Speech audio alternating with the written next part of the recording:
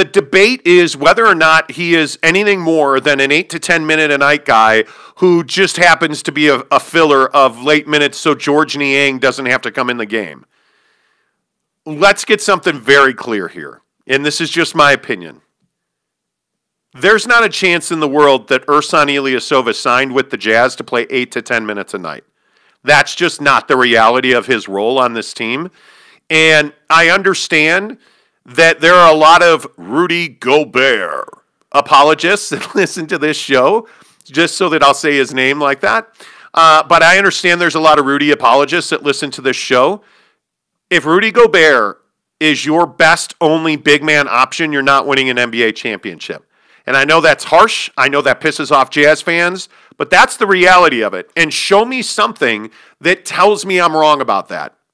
Show me something that we've seen either last season or this season that says that Rudy Gobert can be your big man in the last five minutes of a game and he is going to be able to score the basketball to the point where you're going to be able, especially when you're trailing, you're going to be able to come back and win games. Because, Jake, I just don't think that's reality. Yeah, I mean it's it's no secret that the guy's not an offensive player. You know, that's not that's not uh, in question. And I think that part of this signing was to give them more options. Um, you know, at at the four, maybe a small five. You know, that's that's the whole point of why you would sign this guy because the rest of the league, any of the contenders have guys who can who can play the five and can shoot. Are they traditional centers? No, but the league doesn't trend towards traditional centers anymore. You know, and so that's that's why this this signing is is not about Georges Niang. Frankly, Georges Niang is outperforming his expectations. He shoots well. Uh, he doesn't he doesn't turn the ball over uh, too much when he's playing. Absolutely.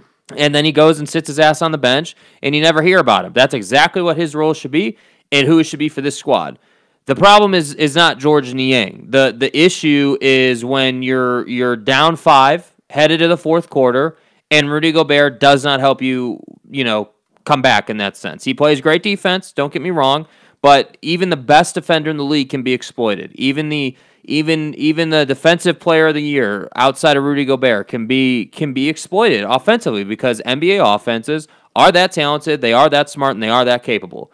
And so it, it, this really isn't even shade at Rudy, but the point is is that if you're not going to have a jump shot, then you have to, you know, they, they got to find a way to to mitigate that, you know, and that's what Ersan's going to do. He's going to come in.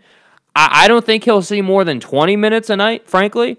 I, I, think he's probably a 15 to 20 minute a night guy, and I think the expectation is, that he's going to come in and knock down three to four, three to four threes, and he's going to play good defense. That's the expectation. And if he does that, he's going to play consistently, and the Jazz are going to be better for it. Yeah, that, that my struggle is is that I feel like people, you either have to be a superstar or you're a scrub. That's not who Ersan Ilyasova is, either way that you slice it, right? Like I think when you look at uh, you look at Ersan, I think his role on this team is going to be, you know, 12 to 17, maybe 20 minutes. I totally agree with you on that. I think he's going to take some minutes away from Rudy. I think he's going to take some minutes away uh, from Bogdanovich. I think what you're going to see is that Ersan Ilyasova is going to play in a variety of situations because he's a big that can shoot the ball. And that's what this team values. And I think um, when you see Rudy come out of the game, you know, five minutes into the first quarter, I think you're going to see a lot of Ilyasova coming in instead of Derrick Favors, depending on the matchup. Um, there were a lot of people on YouTube who said, "Well, what about you know Favors and and Gobert together?" That'll never happen because it's death in this league. Neither one of them runs the floor particularly well. Neither one of them is a finisher on the break. Neither one of them shoots threes. And in this league, you have to be able to get out and be mobile. And that's what Ilyasova brings you. He's a little bit more willing of a defender, a more capable defender than Bogdanovich. We saw it in the Philly game. We saw it in the Clipper game that that Bogey gets gets turned into a, a, a you know a swinging door when when ha- you have guys that either back him down or take him off the dribble. It's a layup, and certainly it's it's you know backside defensive help at the at a minimum. And many times that turns into an and one play. Yeah, you know? and I'm not saying that Ilyasova is a better player necessarily than Bogdanovich. I think he's more versatile. I think he can do a few more things defensively. Um, but they both shoot the ball well. I can see situations where Bogdanovich and uh, Ilyasova are on the floor together. Absolutely. Mm-hmm. I can see that in Quin Snyder's offense. But the question is, Jake, are the Utah Jazz still the best team in the NBA? Because again, after what I saw last night, I'm not sure that the answer is yes right now today. Yeah, I think the the thing you know I'm watching the Nets versus the Celtics last night, and, and the thing that really stands out to me is that the Nets are a team that that really knows how to finish a game. You know, the Nets are a team that isn't isn't necessarily intimidated to be down um, double digits headed into the half because they know how to finish games. And and the thing is, is that and this is this kind of plays into the Ersan situation. It's like the thing is, is that you know they can give it to Kyrie who can knock down clutch shots. They can give it to, to James Harden who can knock down clutch shots. And let's say that those two aren't shooting well. Okay, well those two can also play make. Those two can also play pick and roll and get the defense into foul trouble. And so that's why I say that that the Nets are, are probably not probably they, they are the most talented team in the league. But I think the chemistry thing is the biggest question. Kevin Durant hasn't played in probably 25 games now, at least. Uh, you know, it's been a long time, and and I'm just sitting here thinking, like, dude, like, when are you going to come back? So are the Jazz the best team in the league? I don't think they're better than the Nets. You know, if they matched up, but I do think they're they're right there. They're, they're it obviously would be a close series. So the best team in the league to me is the Nets, and then I think it's everybody else. But again, that's an opinion. I don't think there's any question now that what we saw, and you know what really stood out to me about this game last night with the Nets and the Celtics? Mm-hmm. The post game interview Kyrie Irving did with TNT mm-hmm. was normal. They didn't they like they didn't have to fight to get him. Yeah. He looked like a guy that was not either lit out of his mind, um, or you know he, he just looked like a normal dude, and he played like an elite basketball player last night. I see a guy in James Harden that feels like now he's got what he needs to succeed a willing, willing passer in James Harden, yeah. a willing defender. I never thought I would say this about James Harden and Kyrie Irving on different teams, let alone the same team. They're working hard defensively. Joe Harris working hard defensively, late game turnover, diving on the floor. Like, this was a complete performance. And yeah. you know, the other thing that I thought was pretty amazing is that James Harden showed toughness against Marcus Smart in the fourth quarter which I thought was really important for this Nets team because I think a lot of people thought that they weren't going to be tough or that they could be had physically. Yeah. I think they're showing that's not the case. The Jazz need to come out of the gates hot. They need to come out shooting the ball well, defending well, breaking people's spirits with the three pointer. Guys like, and, and, and I know that Donovan's got to get his, and he will get his. It's the Royce O'Neales, the Bogies, the, you know, the Jingles, those guys have to come out lit for the Jazz. Mm-hmm. They need them to to be hot because the Lakers are going to be improved. Right. The Lakers are rested. I think the Lakers are going to get a big and Andre Drummond potentially. Um, I think the Lakers are going to improve. The Jazz are at a real tipping point right now because I think you're also seeing that the Clippers are healthy. Clippers got an easy win last night. Anybody notice it? Wet like on book, mm-hmm. Jake. Yeah, sorry, I wasn't ready for that. Wet like I'm booked. Uh, Wet like I'm booked. Uh, sorry. Uh, 35 points last night. Oh, man, I'm well rested. 35 points last night from wet like I'm booked. Mm-hmm. Um, the Suns are legit. And if the Suns go out and make a move, which a lot of people think they're going to, mm-hmm. um, an NBA guy that I trust yesterday called me. We were talking NBA. Yeah, I do that a lot. And he was like, you know, the, the Suns are shopping DeAndre Ayton. And I'm like, yeah, well, I kind of thought that and been saying that for a year. And the Arizona fans are like, Sean Miller sweats a lot. That doesn't mean they're trading under DeAndre Ayton. I personally would like an apology. Yeah, fuck you, Tucson. Anyway, the point is, you can drive listen, back to Phoenix. Yeah, you can drive back to Phoenix, prick. Um, the point is, too much. the point is, the Suns are looking to get better because I think the Suns see that the team they've built is ready to compete right now. The Phoenix Suns are ready to win a playoff series. Except DeAndre Ayton holds them back consistently. He does. What do they need? What do the Suns need? They either need a, a dynamic wing score that can give them 20, 25 a night, so a Bradley Beal esque player, or they need to um, they need to get a big who's more capable. You know, I, I unfortunately we've been saying this I feel like this happens to us a lot, and it's and I'm not trying to toot our own horn, but we're right about a lot of things here. And we've been talking about DeAndre Ayton being a terrible defender, uh, being somebody that's a liability for your team for two seasons now. And it's nice to hear that they're shopping him. And frankly, I feel like if DeAndre Ayton was a more dominant big, like think about it if you replace DeAndre Ayton with, you know, any of the great bigs in our game, like, you know, again, let's be completely unrealistic and just say Joel, right? If the Suns had Joel, Book, and Chris Paul, they're a championship contender. They're legit. They're a championship contender if they had that kind of production at the five. But because the production yeah. is so low for DeAndre Ayton, he's he's soft, number one, and he's just not giving you that presence you need in the middle. There's two routes you can go, and this is what we talk about all the time in the NBA. You've got your small run and gun kind of NBA team, which is what they could do. They could do that.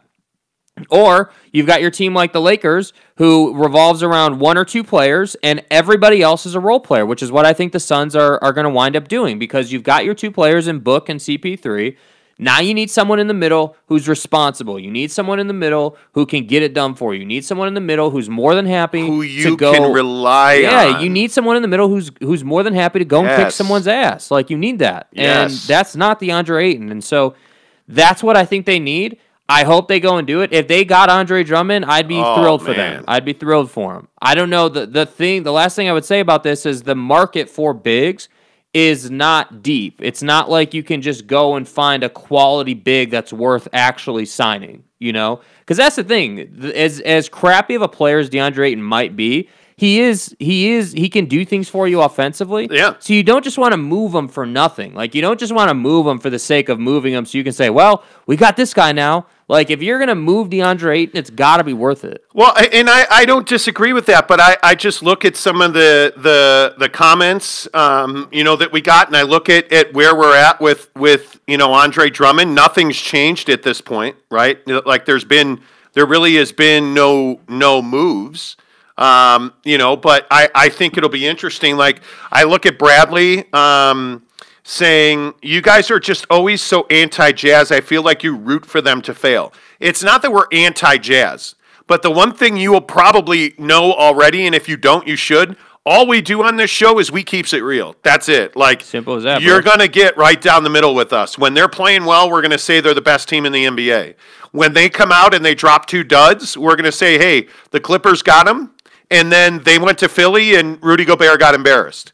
And a lot of their flaws were exposed in that Philly and and really it started with the Clipper game and then the Philly game. A lot of their a lot of their moles were shown on their face. They took their makeup off. Yeah. And it's not always going to be what you want to hear, but it's going to be the truth. And I think when you look around the Western Conference right now, if I'm a Utah Jazz fan, I am terrified of the Clippers, the Lakers, and the Nuggets. Terrified. I'm not as worried about the Suns because I think Rudy Gobert in the first three quarters of a game can absolutely change what the Suns do The offensively. Suns would have to play essentially a perfect game to beat the Jazz, if we're being honest. Like like Book would have to give him 30. Chris Paul would have to be a 20 and 10 kind of guy in a game to beat the Jazz. Like like they'd have to get a perfect all around game to beat the Jazz, in my opinion. Yeah. So I agree. I wouldn't be as worried about the Suns, but again, you know the Nuggets. You should you should be concerned about the Nuggets and what they can do because of the skill position at the five and what Jamal Murray uh, can do. And Michael Porter Jr. is better than he was last year. So that's a team I'd be worried about.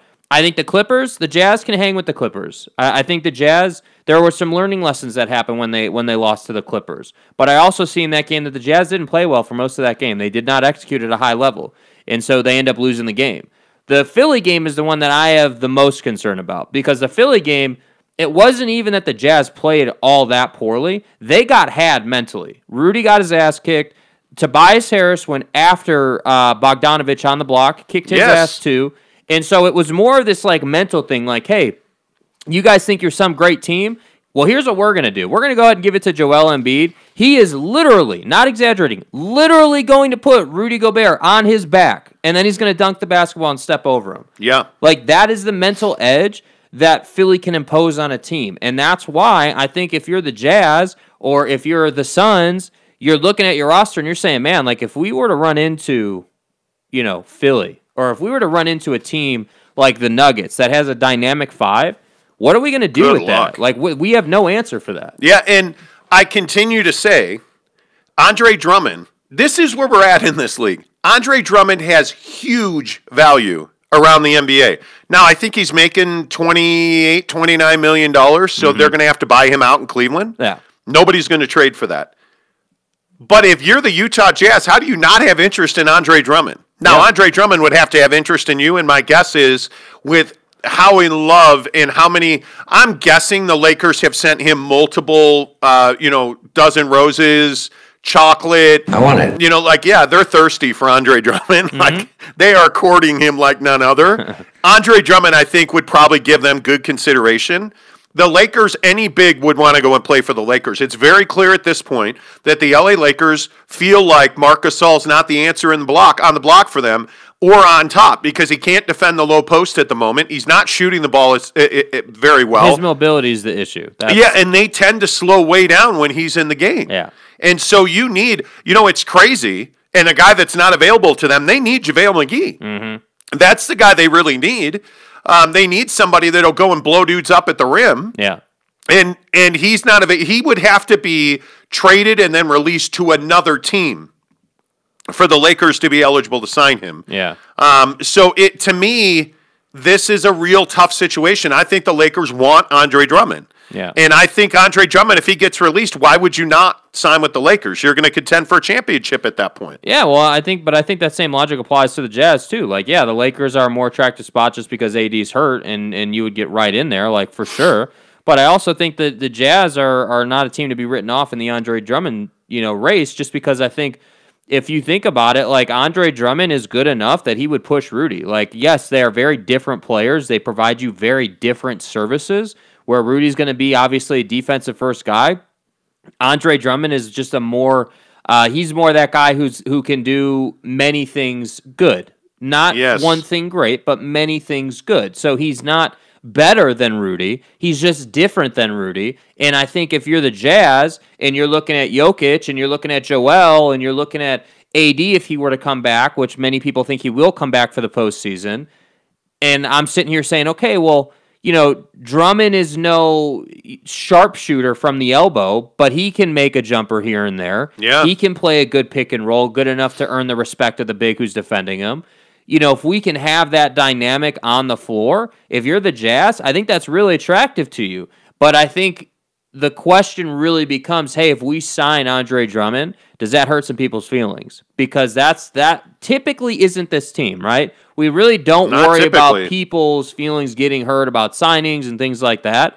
But what does it say to rudy gobert if you go and sign andre drummond? What message does that send to rudy and the rest of the squad i don't know it, that depends how self-confident rudy gobert is you know Well, and I, I look at some of the other things we've talked about on this show. Like we got railed by several. Um, I don't know. Would you call them Maverick fans? I have no idea.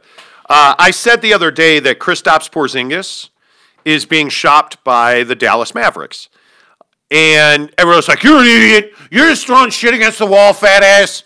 And I was like, "Okay, well, hey, look, man." They didn't really throw in the fat. That's me self-deprecating.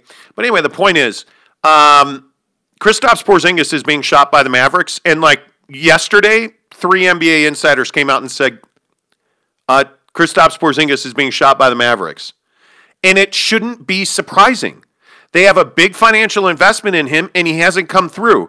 If you're the Lakers, if you like the Boston Celtics are heavily linked to Kristaps Porzingis. If you're the Boston Celtics, Got to. eh, eh, you have to, Got to. right? Like they're you're too. Oh, let, let me see. Hmm. Do I want LaMarcus Aldridge or do I want Kristaps Porzingis, who's shooting the three? He's dunking on guys again. But this is why I don't understand why they want to trade him. He's finally getting here. Like he's finally producing. Because there's an just want to trade him. awkward, there's an awkward chemistry on that team, yeah. and I, I don't know. I think he would bring you a haul, and I, I think they know Well, if that's they, true. That's if they keep Porzingis and, and Luka together in Dallas, is is it really? I mean, are they are they really dangerous in the playoffs? They might win a series at the bottom of the bracket, but that's not a team that's going to contend for an NBA championship, yeah. right? I mean, I don't know. I, I and I, I I'm don't not see saying any you're way. wrong. I, I'm not saying you're wrong. I just think it's really unfortunate that, you know, Porzingis has worked his ass off to get through these injuries for you. You know, he's finally back on the floor and being the player you want him to be. And now you're going to trade him. And and I, look, if you're Porzingis, okay, great, trade me to a contender. Okay, cool, like that's fine. But I just think it, like if you're the Mavericks, you you you haven't been good since since really that that Dirk beating of the Miami Heat that was led by LeBron James. You really haven't been anything special since that series. You know, since Dirk went out and won you a championship in a series that you had no business being in, you haven't been anything. And so you go and get Luka. Porzingis is hurt constantly. So what are we doing? So I guess if the mindset is, hey, you know, we're gonna make some calls and see what what the market for Kristaps is, and they're getting what they want to hear, then I get it. But my point just is, hey, you finally got the duo that you wanted. You finally don't have to rely on Tim Hardaway Jr. to give you 25 a night. Yes. You finally got a guy in Porzingis who's going to produce for you. And now we're going to trade him. And it just seems like a a it, just makes me say this is why you're a mediocre team right now. This is why you're not good. Well, and I think very similar to the NFL. I look at what's going on with the the NBA, you know, contract wise, and I look at what's going on with the NBA cap wise, and it's becoming very clear to me that owners in the NBA are more willing to part with superstars now because they've lost significant money. And if you're not going to have a deep playoff run and you're not going to get that playoff money, I think you you realize that guys like like like Toronto shopping Kyle Lowry is absolutely a, a move that makes sense. I don't. I mean, I don't see them winning the Eastern Conference championship, especially with the way that Philly's playing right now. Yeah. I, I don't. I don't know why you would hang on to him when a team, um, like the if you think about the Lakers, if you think about there's so many contenders who could use a legit Kyle. Low- Could you imagine Kyle Lowry being a Utah Jazz? What do you uh, the grit and determination? replace Mike Conley with Kyle Lowry. And all of a sudden, you have a guy that's durable and plays, mm-hmm. And makes big shots. He's a clutch guy. Come on, like I mean, there's there's value in him. The other guy that I I, I think is is interestingly available, but nobody really talks about it, is John Collins. Uh, in Atlanta, like uh, I've been reading more and more about him potentially being available. Nobody knows who John Collins is, and he's a badass. Well, he puts up 18 and 9 every night. and he's explosive. You know, like that's a guy you want. And you know, the the the interesting team right now, I I also think um, is the the uh, New Orleans Pelicans. They were freaking terrible last night. They were embarrassingly bad. And immediately during that game, people started tweeting about Lonzo Ball and Josh Hart being available. Mm-hmm. And it's like, hey, enough with the is he or isn't he?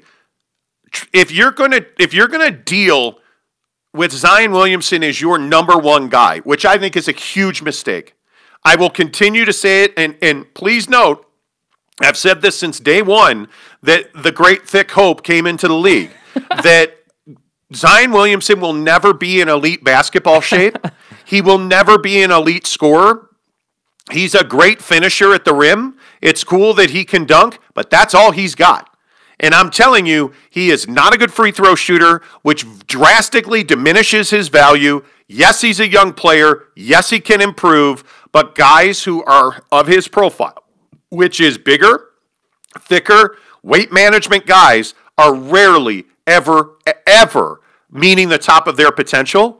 So they're going to wind up staying with him because public perception tells you you have to. But I'm telling you, they should trade Lonzo Ball and Josh Hart and get value in return. Trade JJ Redick, get value in return because they need to move on from what they have now. And guys like JJ Redick that eat space, he absolutely, JJ Redick, and I don't know that people really value him for this. JJ Redick creates space for the other four guys on the floor. You have to respect his jump shot yeah, you can't leave him open. right? Like you, have, have to, to. respect JJ. Redick, so he creates space. And I'm telling you now, you trade him, you trade Lonzo or Josh Hart, you're gonna get value in return. Yeah. Because all three of those guys are are offense for you. Lonzo Ball's jump shot right now is is really strong. And and I would think it, him look at a guy like Buddy Hield in Sacramento. Mm-hmm.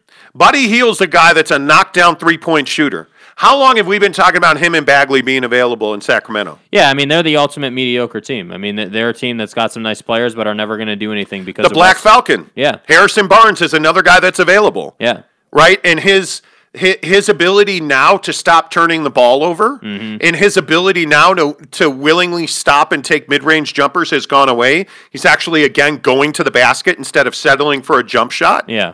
I mean, his value is exponentially higher now. Right.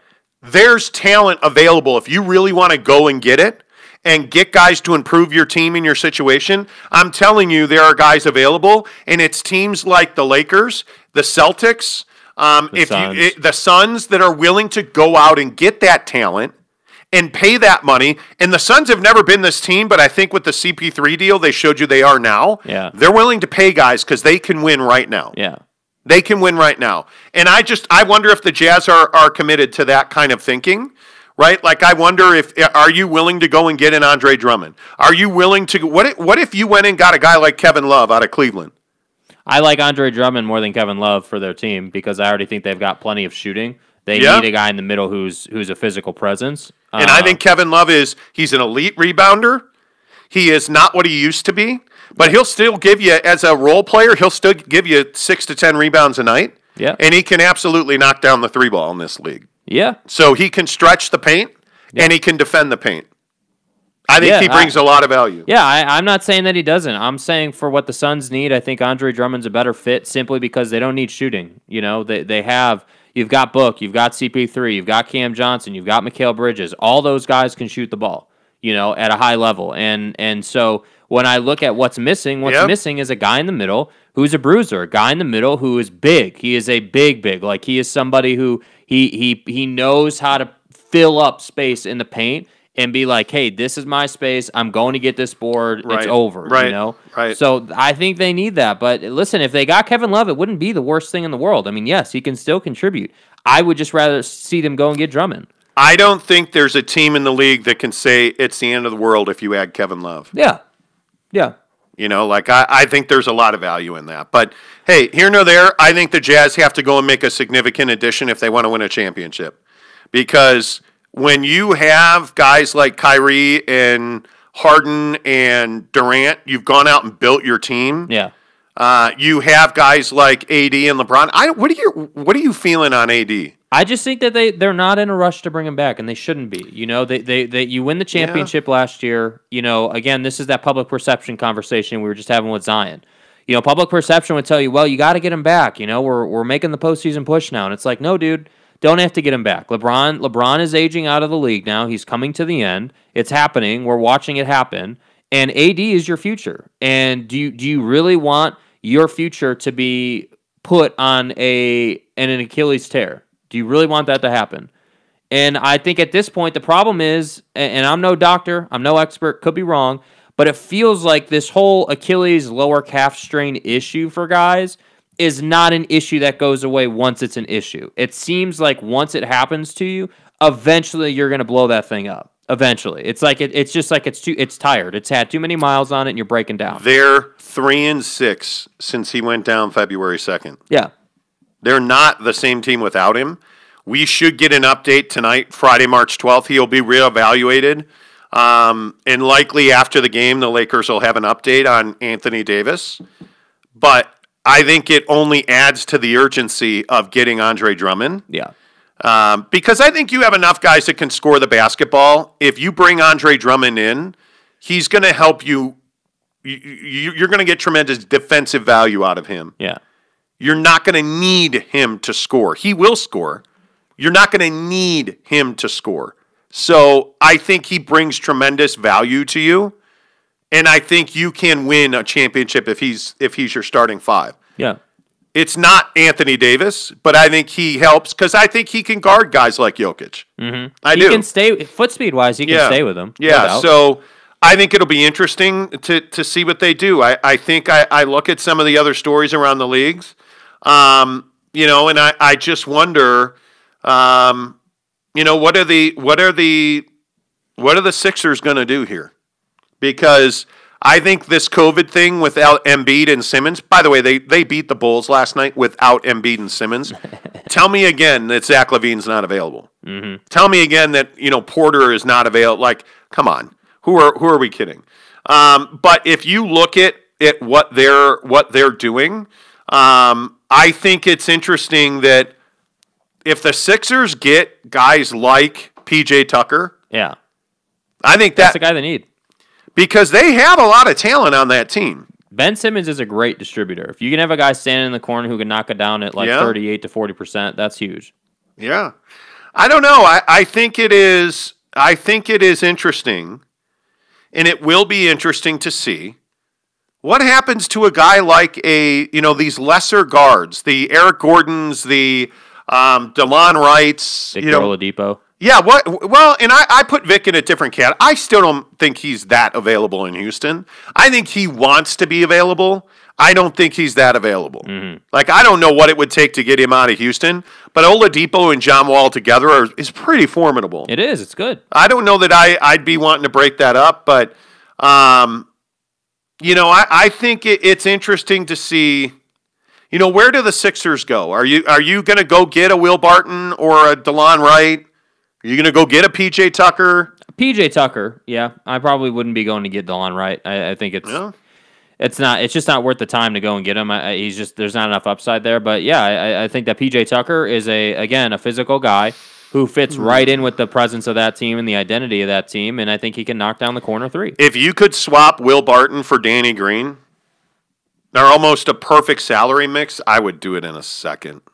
Yeah, I would. I, I would. I'd absolutely. You wouldn't do that. That that's not intriguing to you. I mean it's intriguing, but it's not like man, like Danny Green's so old and slow that we need to move him. Like it's not there yet. He's not knocking the three down the way he used to. Danny Green misses. He used to live and die on that corner three, and he's di- he's dead. yeah, Like that corner three is not going for for Yeah. Danny Green. Like if you truly have Eastern Conference championship hopes, you need to defend better, and you absolutely need to shoot the three better. Yeah, I yeah, I, I don't disagree. I just think that Will Barton is not a good enough player to to go out and you know spend significant time trying to trade for him. Like that's just not. He, he he doesn't make much money. Him and Danny Green make the same money. And if Yeah. you want to pay pay a guy that money, I, I'll take Barton over Danny Green.